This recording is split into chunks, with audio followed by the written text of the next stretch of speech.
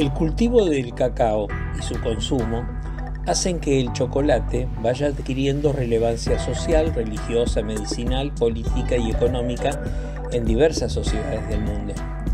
Su propagación, aceptación y difusión ha sido tal que en la actualidad no existe región donde no haya llegado su influencia. Inicialmente fue consumido por las tribus olmecas de Mesoamérica, hace 3.000 años, como bebida y posteriormente empleado como moneda por los mayas, trasladándose posteriormente al imperio azteca. Se denomina chocolate al producto final del procesado del fruto. Tras la conquista de México, el conocimiento del chocolate llega a Europa mediante el monopolio inicial creado por Portugal sobre el comercio del cacao. En España, cambia la fórmula inicial. Se le endulza con azúcar de caña y aromatiza con canela, logrando una gran aceptación social. Se incorpora con mayor popularidad en la sociedad europea del siglo XVII de España pasa a Francia y a Italia, comenzando por las Cortes y finalmente se extendió a todos lados. Pero hasta el siglo XIX solo lo tomaban bebido las clases más pudientes, debido a su alto valor económico.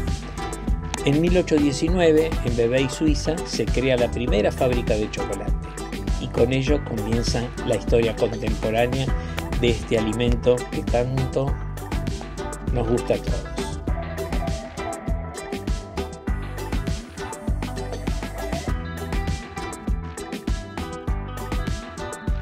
Ushuaia es un lugar frío todo el año. Y qué mejor que recorrer un poco las chocolaterías. Un buen chocolate casero, sin duda, es el mejor alimento para estos lugares.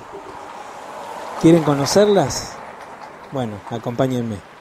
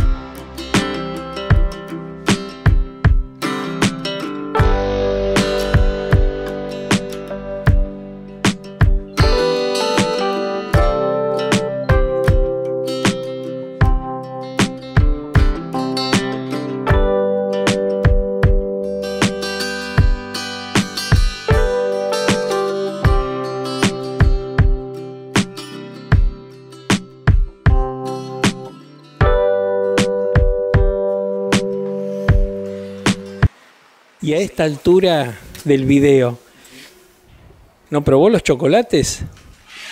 Yo sigo comiendo. ¿Y este todavía sigue comiendo? ¡Qué envidia!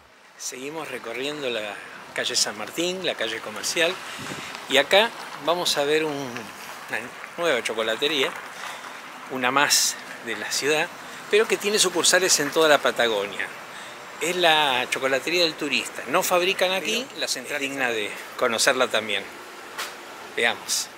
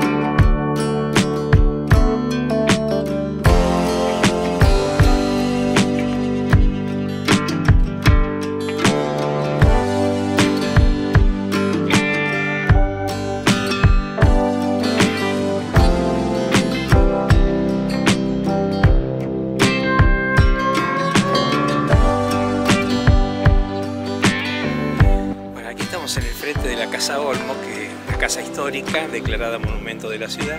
De un lado es una cervecería muy buena, y bar, y de este lado, en la esquina, donde era el antiguo almacén de Don Pascasio Olmo, hay una chocolatería, una casa de té, y es un lugar más que de venta como para estar, y con un clima muy agradable.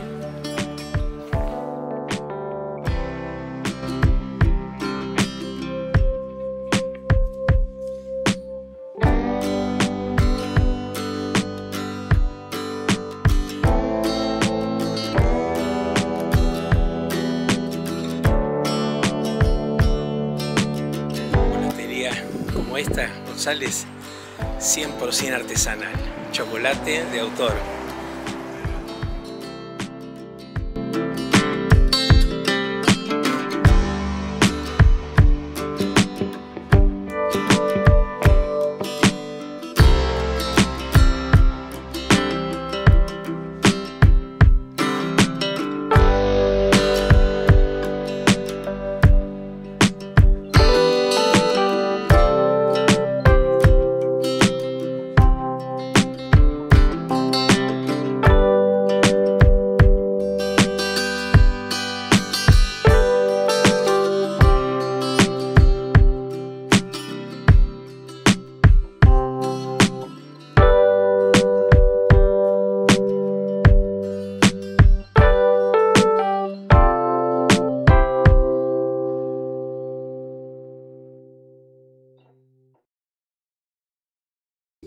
¿Satisfechos de tanto dulzor?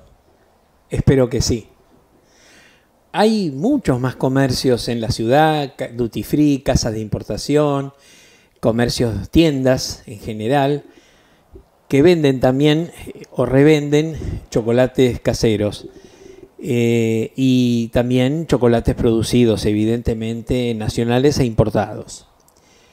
Pero el objeto de este breve video era mostrar un poco aquellas chocolaterías que tienen que ver con lo, con lo casero, sean de aquí o sean de otro lado con sucursal aquí en la ciudad. Espero que les haya gustado y hasta la próxima.